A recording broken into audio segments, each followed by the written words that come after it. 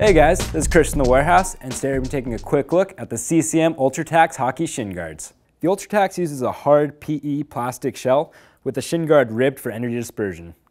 The kneecap uses JDP technology, which is designed to disperse the energy from impacts away from the knee joint. In between the two is a medium density foam, which is going to help out with shock absorption. At the base is a foam wrap, which will reduce wear and tear on your skates. In the calf guard, we have a high density foam, which is segmented for an anatomical and lightweight fit. On the other side, we're gonna see CCM's foam armor with a PE insert that's gonna provide a comfortable and anatomical protection. Along the sides of the knee and at the top, we're gonna see CCM's foam armor again. At the top, we have a segmented foam with PE insert lower thigh guard, which is also gonna be removable for a customized fit.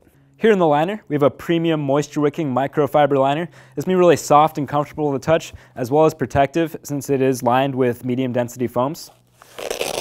It's also removable for easy maintenance and quick drying. In the kneecap, we have D3O Smart Foams. This is the innovative smart foam that CCM uses.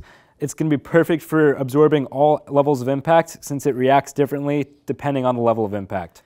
For soft, low energy impacts, it's going to remain soft and flexible as it is in its normal state. But when it's hit with the high energy impacts, it's going to immediately stiffen up and give you the pro level protection that you need. The Ultra Tacks uses a two-strap system with a vented elastic strap across the calf that's going to secure everything in and a nylon strap that's going to be backed with neoprene for a comfortable locking strap right underneath the kneecap.